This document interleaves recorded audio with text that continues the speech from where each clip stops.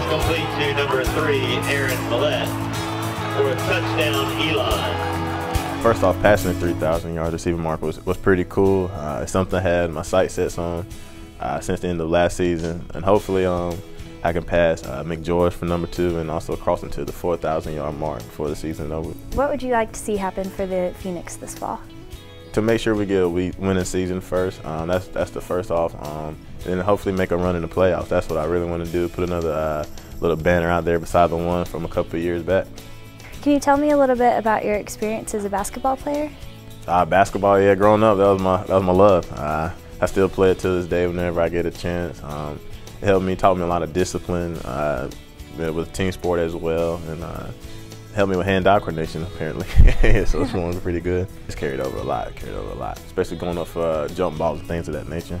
Um, do you have any pregame rituals to help you get in the mindset for a game?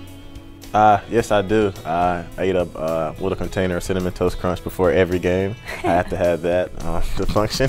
Um, also, uh, I say Psalms 23 before uh, before right before I hit the field. So that's something important to me. And uh, other than that, just uh, lay, in the locker, lay around the locker room and listen to music. Is there anyone in particular that you look up to or that you would consider a role model?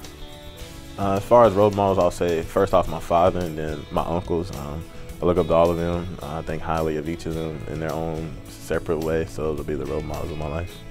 I'm sure they're really proud of you. Yes, they are. I hear you have a nickname, Merle. Um, can you tell me a little bit about that? Um, yes, the Merle nickname is actually my first name, okay. uh, but when coming out, Coach Lembo used to call me Merle, and nobody knew where it came from. So most people thought it was my nickname, so they're pretty shocked when I tell them it's actually my first name. uh, that trending topic, it's, pre it's pretty cool. Uh, I would like to see it actually make a national trending topic uh, one day. Anybody, if anybody has a hashtag, I mean, it makes it pretty cool, I guess. The website NFL Draft Scout has already ranked you as the third best senior wide receiver and a top prospect for the 2013 draft. And Dane Brugler of the NFLDraftScout.com said, Despite not facing elite defenses each week, NFL teams and pro scouts are well aware of Mellette and his remarkable production. So what's your, your reaction to that? Being ranked um, in the top five of senior receiver class, uh, it's a blessing. Um, that shows uh, that my hard work these last few years has, has paid off.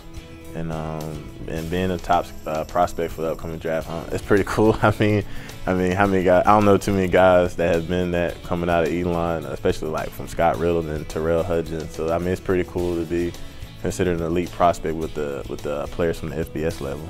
Mm-hmm. how do you feel like playing a, for a smaller school has affected your football career? Is that more or less pressure?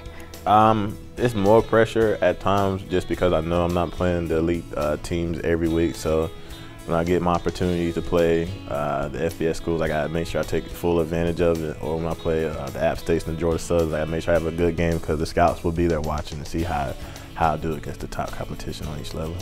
Your success has definitely placed you in a leadership role for your teammates. Is there anything in particular you plan on doing to carry that role? Just just doing what I do best, um, leading by example, trying to keep the team together and practice what I'm preaching out there. I mean, if I'm telling somebody else to go hard, I gotta make sure I'm going hard myself.